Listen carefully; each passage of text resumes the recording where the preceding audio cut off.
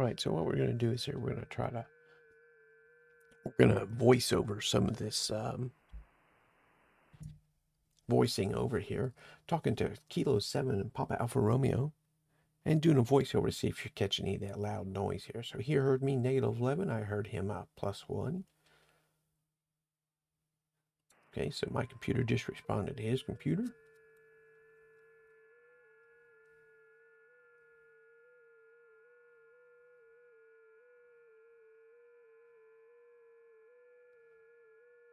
All right, his computer says Roger, Roger 73.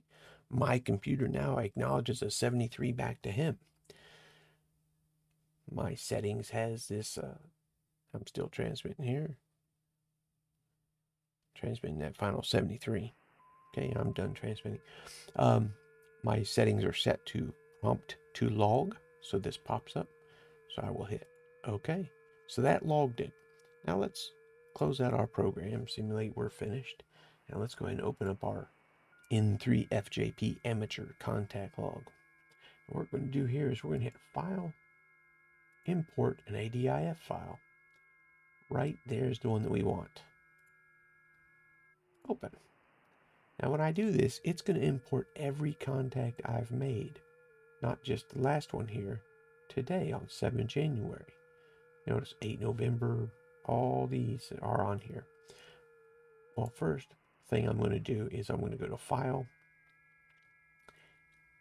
Remove Duplicates. Yes. Now watch what this does. Boom. There's K7 Papa Alpha Romeo at the top of my log.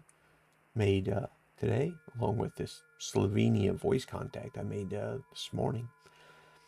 So, next thing I'm going to do is I'm going to select that and I'm going to hit Edit. Fill the fields determined by their call sign because I don't have a county, a name, a state, so I'm going to hit select a record. Because that doesn't come through on FT8. There, so now it filled in, filled in all the information there. Okay. Now I can say, all right, take that, upload that to Logbook of the World, the selected contact. All right, that's done. Now I'm going to hit upload that to EQSL, selected contact. There, that's done. Done. Okay, so now it's green on my log. Now let's just close out my log. Now, let's go to QRZ.com. We're going to go to QRZ.com. We're going to go to my page. Here we are. So you know what? Let's go to my logbook. On my logbook, I'm going to go to settings. I'm going to come down here to Logbook of the World, Import and Export. And I'm going to hit Import from Logbook of the World. I'm going to type in here my call sign here. And import. So zero new confirmations, but three records added. Show my details here. So here's the, the one that I added just this morning, the S5, CR5 Whiskey Whiskey there from Slovenia. That was this morning. Now Logbook World does take a moment. It's not uh, that automatic though. So now we can uh, refresh. Right here it is, Sierra 5 Whiskey Whiskey. That's the one from this morning. So that, that one got finished processing within uh, Logbook of the World. Later on, if I do that again, again in settings, import, type in my password. Later on, then that K7 uh, from Arizona, Maricopa County. Oh, one more added. Oh, there he is, K7PAR. All right, well, that was pretty quick. All right, then, well, let's just refresh, go look at our log. Oh, look at that.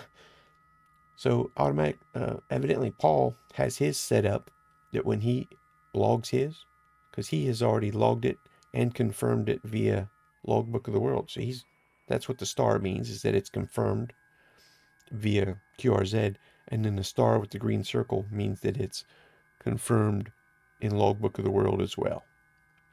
So Paul's already confirmed his. There we go. So all finished. That's Paul from Arizona, K7PAR. That's how I utilize my N3FJP um, amateur contact log along with my FT8 and along with QRZ Logbook of the World and EQSL. Thanks for watching.